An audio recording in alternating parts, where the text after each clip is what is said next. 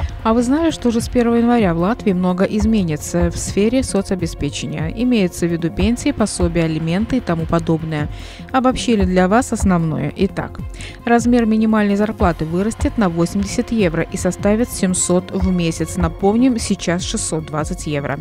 Гарантированный минимальный доход составит 137 евро для первого члена семьи и 96 для остальных.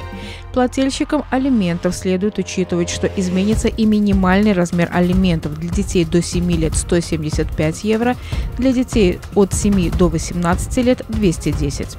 Минимальная пенсия по старости возрастет со 157 до 171 евро. Также вырастут пенсии для инвалидов с детства и по случаю потери кормильца. Кроме того, с 2024 года к пенсиям по старости и инвалидности постепенно будет восстанавливаться доплата за страховой стаж, накопленный до 31 декабря 1995 года. Все подробности можно узнать на сайте Министерства благосостояния lm.gov.lv.